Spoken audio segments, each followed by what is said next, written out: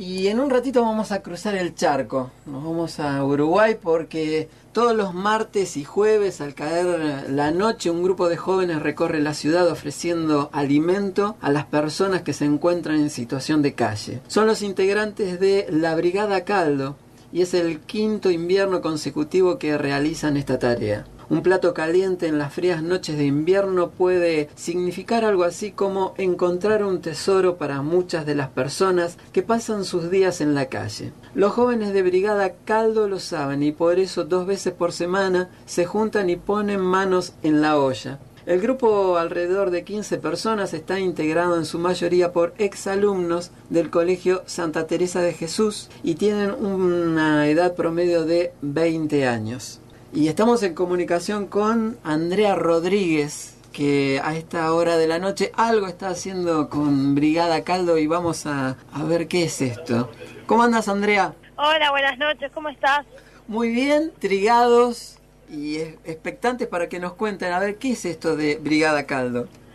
Bueno, Brigada Caldo surge de, una idea de cuatro exalumnos en, ante la crisis del 2002 que, bueno, no querían quedarse brazos cruzados frente a la situación con la que estaban viendo, entonces este, deciden salir a hacer algo por esa gente que estaba alrededor del colegio, alumnos del Colegio Santa Teresa Jesús de, de acá de Montevideo, y, y, bueno, y ahí surge la primera, una primera idea con una polenta y después se vio que estaba bueno y que se tenía apoyo y, bueno, y entonces ahí surgió la idea de Brigada Caldo eh, con guiso. Nosotros salimos con guiso, em, caldo y mandarinas.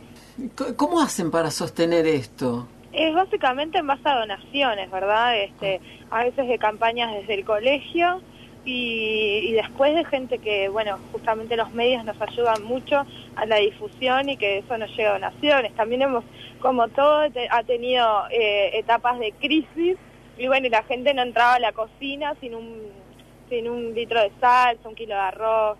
Ahora son este, 20, cerca de 20 personas que laburan. Más o menos, fijo, fijo, somos unos 10. Después, eh, bueno, va alternando, gente que se acerca algún día, gente que se acerca a otro, pero más o menos este, somos unos, fijo, fijo somos unos 10. Y te quería corregir una cosita, este es el séptimo año que estamos saliendo, estamos saliendo desde el 2002, hace 6 años. Ah, la flauta. ¿Cambió algo la situación? Sí, sí, la verdad que eh, hemos llegado a dar más de, más de 100 guisos y bueno, y últimamente estamos dando unos 60 y también eh, cambió mucho el perfil ¿no? de la gente. En un comienzo se veía muchísima gente, familias enteras que habían quedado de repente en la casa, como nos puede pasar a mí o te puede pasar a vos, de repente, así que no, como medias desesperadas, por decirlo de alguna manera, y ahora encontramos esa gente en que la calle ya es su hábitat y que la encontramos desde el primer año y la vamos a seguir encontrando porque ya eh, su medio de vida es la calle. Y, gente que más bien no es que viva en la calle, sino sobre todo que se hace en la calle, ¿verdad? Capaz que tiene algún rinconcito por donde quedarse, pero pero bueno, pero sí se tiene que hacer durante el día de la calle y bueno, y esa, ese platito de hizo le, le salva. Eh, ¿Cómo, ¿Cómo hacen en la práctica? ¿Se juntan ese día, la cocinan ese día y, después cómo la reparten? Mira, nos juntamos alrededor de las 7 de la tarde todos. Eh, este año cambiamos para lunes y miércoles. Este, vamos a buscar la verdura a una verdulería que nos donan, este, ya casi desde el principio. Y bueno, y vamos a la cocina del colegio, que no es menos importante, nos presta eso el colegio desde donde provenimos la mayoría. Y bueno empezamos a cortar la verdura saltar las cosas que hay que saltar calentar el aceite preparar el caldo ir a buscar las mandarinas. Una vez que está todo pronto por suerte este es el segundo año que contamos fijo con una camioneta. Este porque antes era bastante un dolor de cabeza a ver hoy quién nos podrá ayudar quién no. Bueno ahora fijo esa camioneta y cargamos toda la camioneta y un, em, un supermercado de, envases plásticos eh, también hace tiempo ya nos donan todas bandejas, cucharas, eh, vasos y, bueno, salimos, ponemos el, los, el caldo en termos, salimos con la olla gigante de guiso y bueno, las mandarinas en pote y vamos repartiendo. Eh, cargamos todo eso y vamos repartiendo dentro de un circuito más o menos predeterminado. Está la, y gente que vemos ahí en la calle este, le ofrecemos y le servimos en esas bandejas y, y vasos que nos, nos ofrece este supermercado en envase. En el primer momento, ¿ustedes tenían que salir a convencer un poco a los, a los comerciantes para que donen? Y bueno, en, un comienzo sí, pero a medida que se van enterando de la idea, este, bueno, se van ofreciendo para donar y está bueno porque nosotros lo que ponemos de primera antemano que nosotros no hacemos propaganda. Y está bueno porque hay gente que, que realmente se, se, genera ese compromiso. Son distintos eh, modos de ayuda, ¿no? Ellos ofrecen las cosas que nos pueden servir, nosotros ofrecemos nuestro tiempo y, nuestra escucha para estas personas y, y bueno, en esos primeros días del 2002, este, ¿cómo recibían, eh, qué, carita ponían la gente ahí en la calle cuando los veían venir a ustedes? Hay reacciones de todo tipo, ¿no? Hay gente que, bueno, agarra el guiso y se va, hay gente que le da vergüenza y nosotros sabemos que tal, le dejamos ahí al lado. Y hay gente que se pone a llorar, hace una especie de catarsis, porque además es... Eh, alguien que está totalmente por fuera de esa realidad que viene a darle una escucha, a, a incluirlos en lo que es la sociedad, porque nosotros vamos caminando y ya tenemos tan naturalizado que hay una persona ahí en la calle, que nos parece más raro cuando una persona se sienta a hablar o, se para a hablar y a detener a esa persona que cuando pasa de largo, ¿no? Entonces, eh, bueno, hay de todo tipo de reacciones y anécdotas, de ponerse a llorar, de, muchas historias. En cada salida aprendimos algo nuevo porque realmente es, es, muy enriquecedor.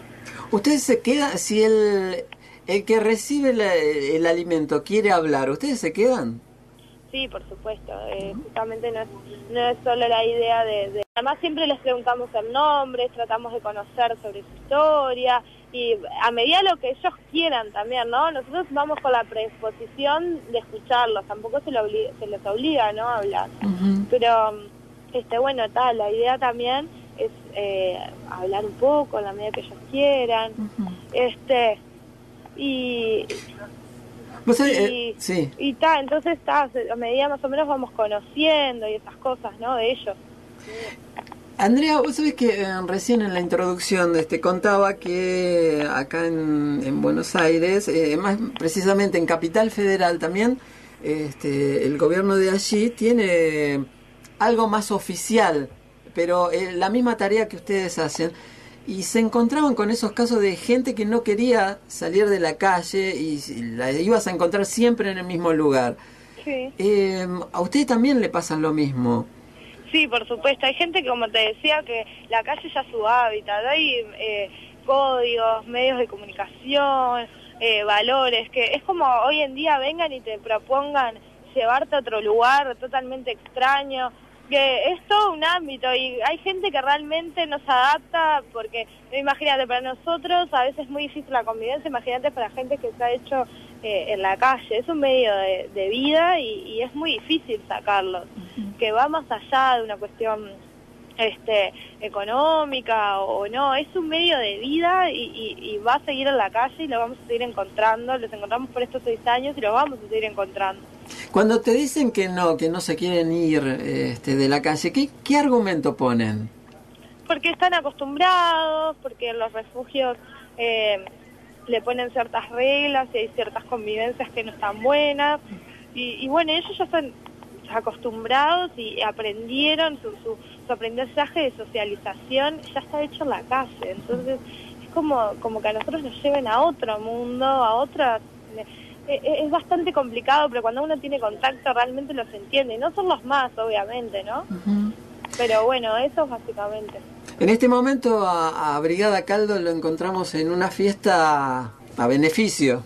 Exacto, estamos organizando, organizamos en un pub acá de Montevideo, eh, un teatro más temprano, bueno, y ahora quedó bastante como boliche, este, la entrada es de 30 pesos, enteramente a beneficio de Brigada Caldo y eso se está realizando hoy y mañana. Y bueno, estamos viendo chances de hacerla la semana que viene, pero con alguna banda en vez del teatro.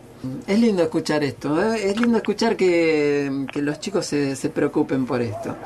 Eh, Andrea Rodríguez, de Brigada Caldo, muchas gracias por haber eh, habernos prestado a nosotros un ratito de tu tiempo. Bueno, no, muchas gracias a ti. Y bueno, que todos tengan ganas de hacer cosas así, porque si no empezamos por nosotros, no importa qué hace el gobierno, qué no hace, empezar a criticar. empecemos por nosotros y lo que esté a mano de nosotros y lo que nosotros podemos renunciar un par de horas para cambiarle capaz la vida, el, el, día a 60, 100 personas. O sea, un poquito de todos nada más. Qué grande. Gracias Andrea, que sigas bien. Bueno, gracias, chao.